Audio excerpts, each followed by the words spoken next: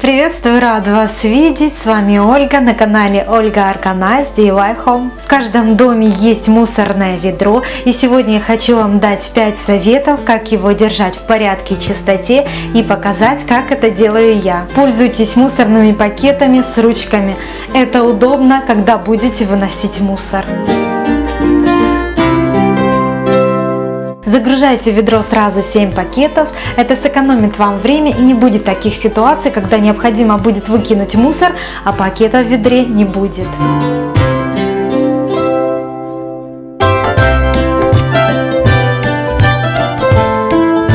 Фиксируйте мусорные пакеты резинкой, либо одной или двумя прищепками. Это поможет не опускаться мусорному пакету внутрь ведра, когда вы складываете туда мусор.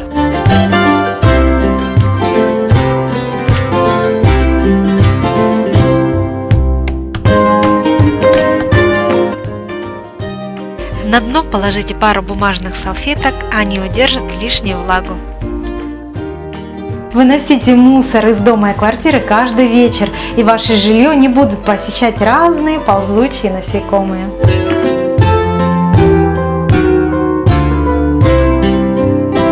Как только закончится 7 мусорных пакетов, а это как раз 7 дней, то есть неделя, не забудьте помыть ведро и продезинфицировать.